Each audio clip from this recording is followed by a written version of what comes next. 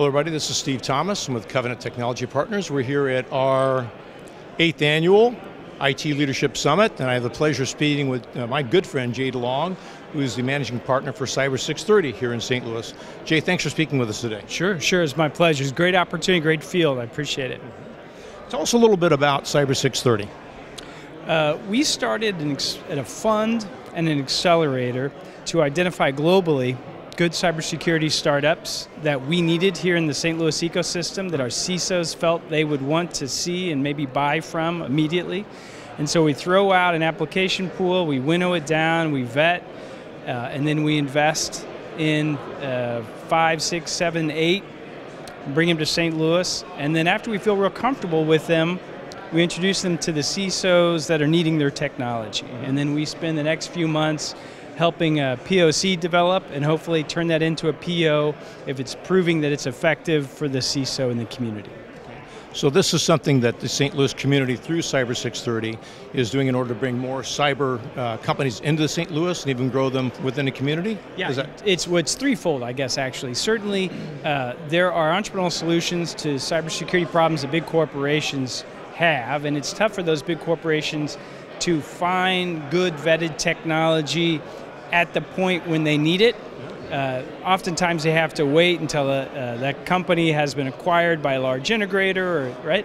And so we're bringing them uh, that relationship sooner, so that's terrific. We're also supporting the early stage startup uh, through this process, and we hope that they'll find St. Louis to be a, a, a nurturing home and they'll grow.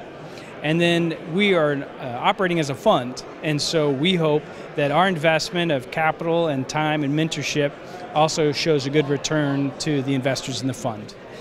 And all that again to help the St. Louis community in addition to bringing more opportunity into an industry there's really a need right now. That's right, because uh, St. Louis is a terrific ecosystem for cybersecurity startups, and so we hope uh, this sort of spins up the whole proposition, both supporting large corporations, the startups, and the, the, the talent pool that's uh, looking for work, looking for improved skill sets, and it just kind of spins up the whole notion of a cyber city. So I know I'm, I'm, very privileged to be a mentor. I'm one of the last cadres that come Great. through with Cyber 630. How can people who want to be involved, or, who would you want to be involved in Cyber 630, and how can they get in contact with you? Uh, certainly those people in the information security space that have some practical experience are welcomed as mentors.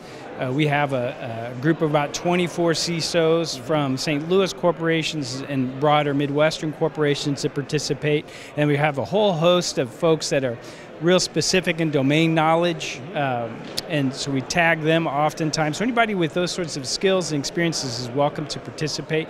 That's very valuable.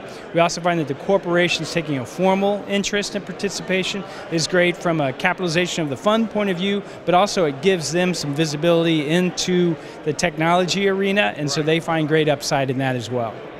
And if people want to contact you, how can they find you? Super simple. Our website is 630cyber.com, and I can be emailed at j at 630cyber.com. Well, again, this has been a real privilege having you speak with us here today. A great event so far, don't you think? I think it's a great turnout and a real interested crowd. Okay, well, hope you get a chance to go meet a lot of new friends and uh, make a lot of allies in our battle against those cyber criminals out there, man. Thank Thanks, you. Steve. Look Appreciate it. it.